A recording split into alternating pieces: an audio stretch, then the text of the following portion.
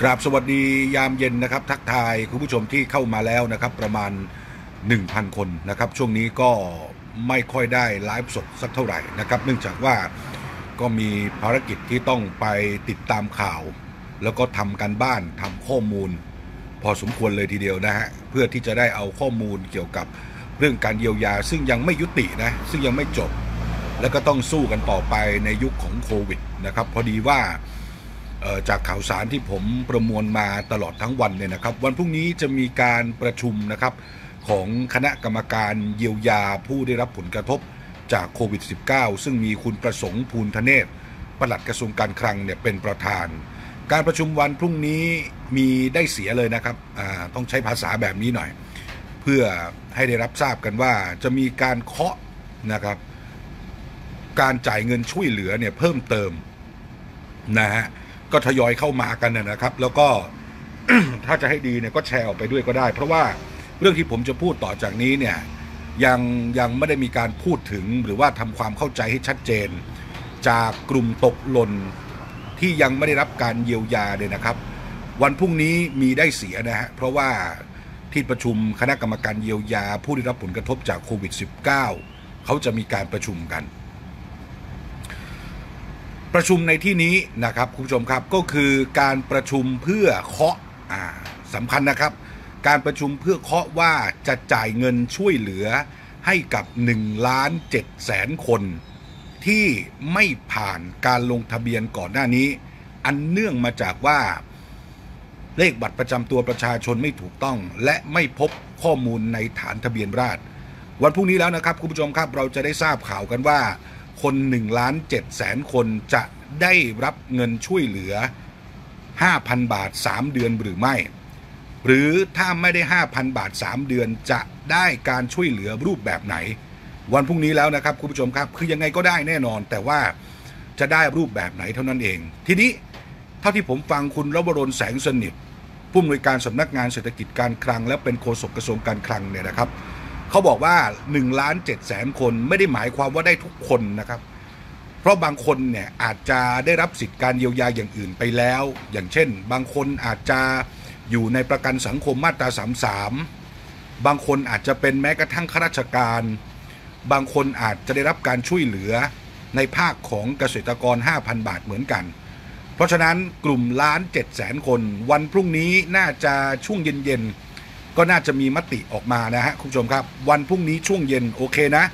กลุ่ม1ล้าน7แสนคนสำหรับกลุ่มที่ไม่เคยลงทะเบียนเลยนะครับ ยังไม่มี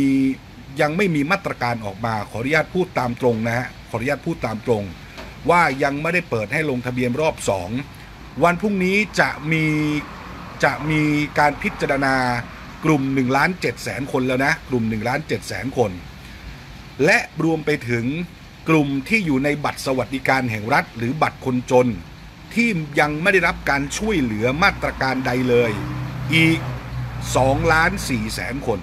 คนถือบัตรสวัสดิการแห่งรัฐมี 14 ล้าน5แสนคนนะครับ ทีนี้เนี่ยที่เขาจะพิจารณาวันพรุ่งนี้ร่วมกับกลุ่มล้าน7เนี่ยก็คืออีก2ล้าน4แสนคน พรุ่งนี้มีแน่ ๆก็คือล้าน7กับ2ล้าน4แสนคน ฟังผมไม่ดีนะฮะ พรุ่งนี้ล้านเจ็ดกับ2ล้าน4แสนคนเราจะมาทราบร่วมกันละ ว่าจะได้รับการช่วยเหลือกี่บาท ว่าจะได้รับการช่วยเหลือกี่เดือนนะครับ อันนี้ผมแจ้งให้ทราบแล้วเดี๋ยววันพรุ่งนี้ตอนเย็นๆเนี่ยพอได้รายละเอียดจากที่ประชุมเนี่ยนะครับ ผมก็จะได้อัปเดตให้กับคุณผู้ชมเนี่ยได้รับทราบกันอีกครั้ง แล้วเดี๋ยวก็จะส่งทีมงานนะครับ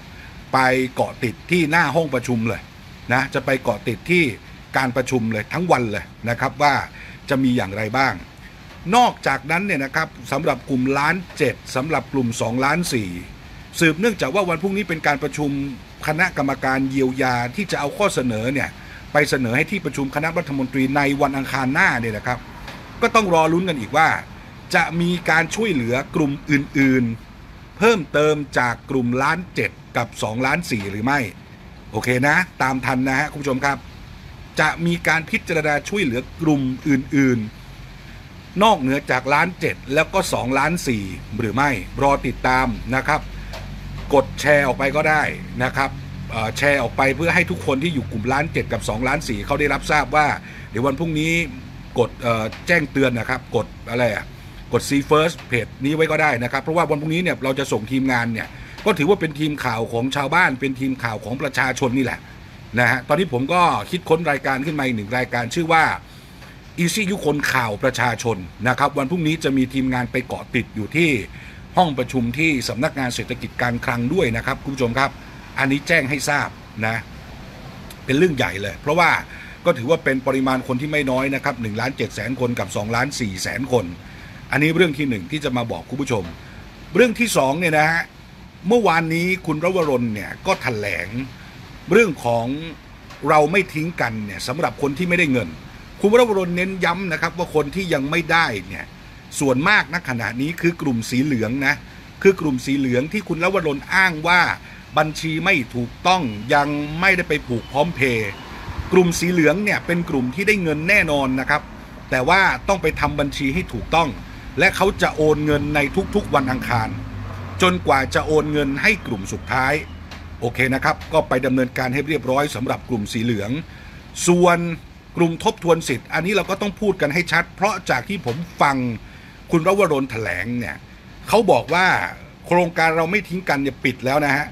ปิดไปตั้งแต่วันศุกร์ที่ 29 พฤษภาคมที่ผ่านมาสดๆร้อนๆนี่แหละนะครับเพียงแต่ว่ามีพี่น้องประชาชนหลายคนก็สอบถามผมมา ว่ายังมีหลายคนที่สถานะยังค้างอยู่ที่การทบทวนสิทธิ์ สถานะยังค้างอยู่ที่การทบทวนสิทธิ์นะสถานะยังค้างอยู่ที่การทบทวนสิทธิ์ หรือบางคนถูกตัดสิทธิ์โดยไปกล่าวหาเขาว่าไปประกอบอาชีพนั้นไปประกอบอาชีพนี้ แล้วก็ทั้งสองกลุ่มก็ไปร้องเรียนที่ธนาคารกรุงไทยแล้ว หรือที่ศูนย์ดำรงธรรมแล้วเนี่ยนะครับ จะมีการช่วยเหลือคนกลุ่มนี้เนี่ยอย่างไรกันบ้างนะครับ เพราะตอนนี้เนี่ยสถานะมันยังค้างอยู่ ผมก็จะตามให้นะครับ อันนี้เอาให้ชัดนะ ผมก็จะตามให้กลุ่มสถานะสีเหลืองได้อีกไหมคะอ๋อสีเหลืองได้แน่นอนครับ คุณรบรนยืนยันนะครับ แต่ว่าต้องไปทำบัญชีให้ถูกต้อง หรือว่าไปผูกพร้อมเพย์ให้ถูกต้อง ระบบเนี่ยจะโอนเงินทุกๆ วันอังคารนะฮะส่วนกลุ่มทบทวนสิทธิ์กลุ่มที่ถูกตัดสิทธิ์ว่าเป็นอาชีพนั้นเป็นอาชีพนี้เนี่ยนะครับ เดี๋ยวผมตามให้ เพราะว่ามันก็ไม่เคลียร์นะครับเหมือนกับว่าค้างสถานะเขาอยู่แบบนั้น จะบอกว่าไม่ได้ตังก็ไม่บอก จะบอกว่าไม่ผ่านก็ไม่บอก แต่อยู่ระหว่างการทบทวนสิทธิ์อยู่นั่นนะครับ อันนี้ก็คืออีกกลุ่มหนึ่งที่ผมสรุปให้ทราบ ส่วน อีกกลุ่มหนึ่งเป็นที่ค่อนข้างชัดเจน แต่เราจะเรียกร้องกันต่อไป เป็นที่ชัดเจนแต่เราจะเรียกร้องกันต่อไป เมื่อวันจันทร์ที่ผ่านมาเออเดี๋ยวก่อนนะ เมื่อวันวันอังคารประมาณวันอังคารที่ผ่านมาหรือเมื่อวานนี่แหละครับเดี๋ยวก่อนนะอ๋อวันจันทร์ผมจำวันสับสนละวันจันทร์เนี่ยนะฮะกระทรวงการคลังกับกระทรวงพัฒนาสังคม และความมั่นคงของมนุษย์คุยกันแล้วนะครับ กลุ่มเปราะบาง 13 ล้านคนณขณะนี้จากการถแถลงข่าวมีแนวโน้มนะครับ มีแนวโน้มว่า คนชรา หรือคนพิการที่ได้เงิน 5,000 บาท ไม่ว่าจะเป็น 5,000 บาทของเราไม่ทิ้งกันหรือว่า 5,000 บาทของเกษตรกร จะไม่ได้รับเงิน 1,000 บาท 3 เดือน หรือว่า 3,000 บาทของกลุ่มเปราะบางนะครับ สรุปไม่ให้ซ้ำซ้อนนะครับ ก็เป็นเรื่องที่น่าเสียใจ เพราะณขณะนี้เนี่ยทางกระทรวงพอมก็ประสานกับกระทรวงการคลังกำลังเขี่ยต้องใช้คำว่ากำลังเขี่ยคนที่ อยู่ในกลุ่มเปราะบางแล้วได้เงิน 5,000 จากเราไม่ทิ้งกัน แล้วก็ได้เงินจากเกษตรกรไปแล้วเนี่ยจะไม่ได้ซ้ำซ้อนนะครับ เพราะว่าตอนแรกเนี่ยมติที่ประชุมคณะรัฐมนตรีเนี่ยบอกว่ากลุ่มเปราะบางเป็นกลุ่มพิเศษ คุณรัชนาเนี่ยนะครับซึ่งเป็นรองโฆษกรัฐบาลเนี่ยก็ถแถลงว่าควรจะได้ซ้ำซ้อน เพราะเป็นกลุ่มพิเศษ แต่เอาไปเอามาการพิจารณาของกระทรวงพมกับกระทรวงการคลังเนี่ยบอกว่าจะไม่ได้ซ้ำซ้อนนะครับ คือพูดง่ายๆถ้าคนสูงอายุที่สมมุติว่าทำอาชีพค้าขายแบบเนี้ยแล้วก็ไปลงทะเบียนได้เงิน 5,000 บาท 3 เดือนแล้วเนี่ย เงินในกลุ่มเปราะบางเนี่ยก็จะไม่ได้นะฮะก็จะไม่ได้ ส่วนเด็กแรกเกิดเขาย้ำว่าต้องเป็นเด็กที่